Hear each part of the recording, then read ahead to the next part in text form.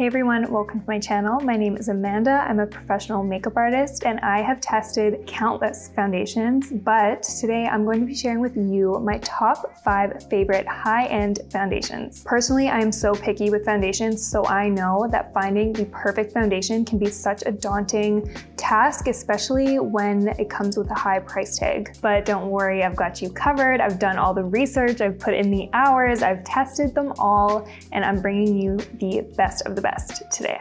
These foundations, I promise, will give you flawless, natural looking skin. Whether you have dry, oily, combo, sensitive, I've included a little something for everybody. I'm going to be going through all the details like finishes, coverage, all of that to make sure that you find the perfect match for your skin. Just a heads up in the description down below, I'm gonna link all the foundations that I talk about. Some of the links are affiliate links, which means I will earn a small commission if you do make a purchase using the link. This video is not sponsored, no one is paying me to say these things. I'm just sharing with you my personal recommendations from my experience as a professional makeup artist. One last thing before we get into it, don't forget to give this video a big thumbs up, hit the subscribe button. I would love it if you joined our community here. So are you ready to find your new go-to foundation? Let's get started. I'm gonna kind of go from light coverage to full coverage. So starting off, I have the Kosas Revealer Skin Improving Foundation SPF 25. This one retails for $57. All the prices today are going to be in Canadian dollars. This is a medium coverage foundation with,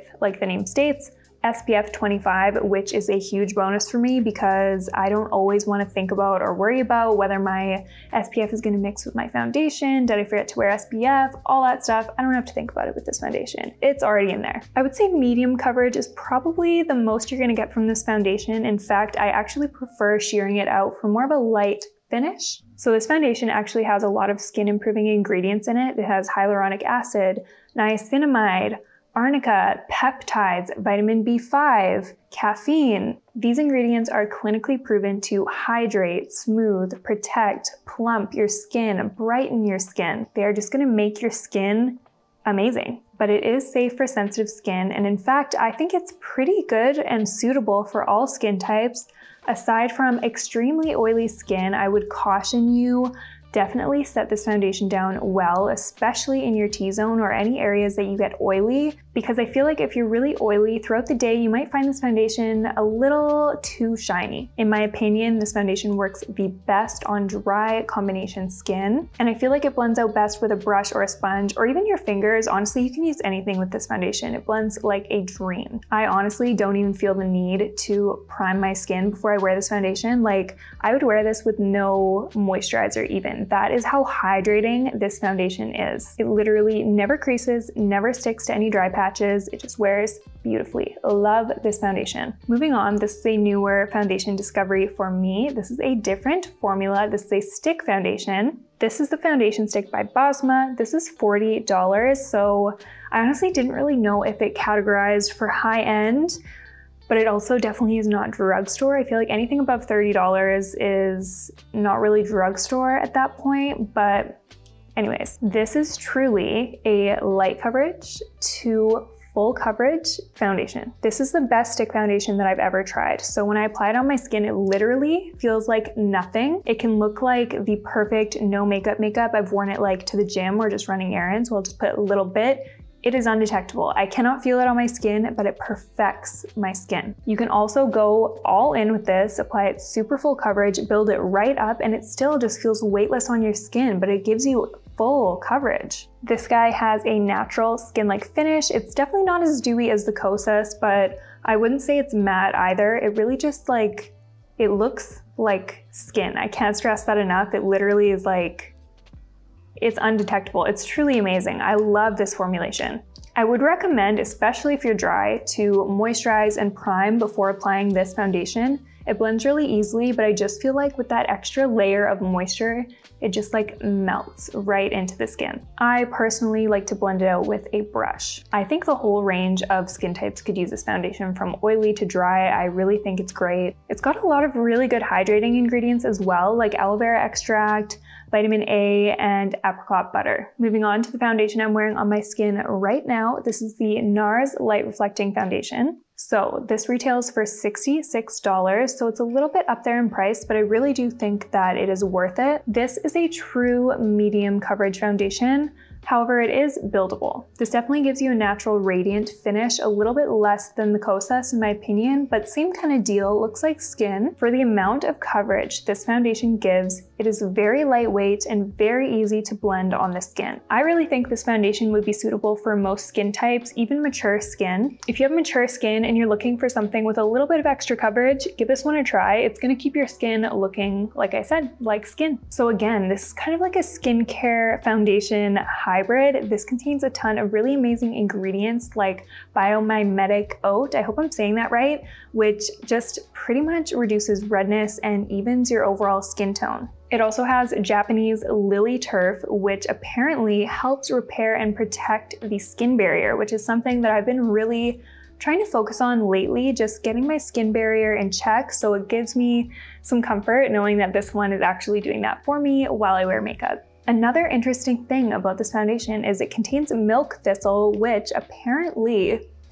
protects against blue light damage and like environmental stressors, which is pretty cool. Next up, we have the Hourglass Ambient Soft Glow Foundation. This one retails for $74, so definitely up there in price. But if you're looking for a luxury foundation that does it all, this is truly it. This is another medium buildable foundation. I really think you can get a lot of coverage out of this one, maybe even more so than the NARS Light Reflecting, in my opinion. I'll actually reach for this often when I'm doing more of a full glam look because it really gives me that coverage but it keeps the skin truly looking like skin. It also just blurs the skin like no other. It really just looks like you have a filter on almost. I see why they call this soft glow. It just softens and blurs. It's so beautiful. I would say all skin types can use this foundation, but especially oily skin types. If you're an oily gal, I really recommend trying this one. If you're dry, I would just recommend exfoliate beforehand, prime, moisturize, do what you gotta do. I really don't feel like I need to powder this foundation. It just sets right down. If anything, I'll powder around the mouth, kind of like in this area, the nasal labial folds,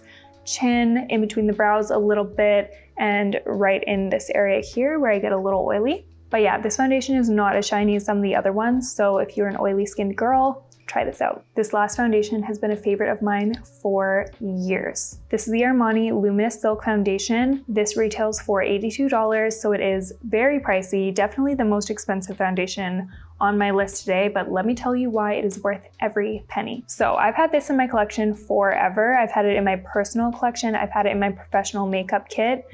And I just think I'll always have this with me. It's so good. This is a medium buildable coverage. It is super buildable. You can get full, full coverage with this, but it's so lightweight on the skin. If you want more of a no makeup makeup, just apply a really thin layer of this. If you want full glam, you can really just build this up and layer it up in the areas that you need for that super flawless kind of airbrushed finish. Again, like the last one, I would probably recommend this more for oily skin types, but again, if you are dry, just moisturize, exfoliate, prime. Just make sure you have that base layer on so that it doesn't cling to any dry patches on the skin. I believe this one's oil free as well, so that's a really big bonus if you have oily skin. Personally, I like to apply this with a beauty blender and I just really like to work it into the skin and blend it out because once you kind of leave it on the face, it really sets and it lasts all day. So I don't like to worry about brush strokes or anything. I really just use a beauty blender to work this into the skin. And that's a wrap for my ultimate guide to foundations. I really hope you found this video helpful and I hope you're able to find your new go-to foundation. Remember, every skin is different, so make sure you play around with different shades, different finishes, different coverages to make sure you find the right foundation for you. Let me know if you give these foundations a try. Let me know what you think in the comment section down below. Don't forget to subscribe to my channel for more makeup tutorials and reviews. And if you enjoyed this video, give it a thumbs Thank you so much for watching and I'll see you next time.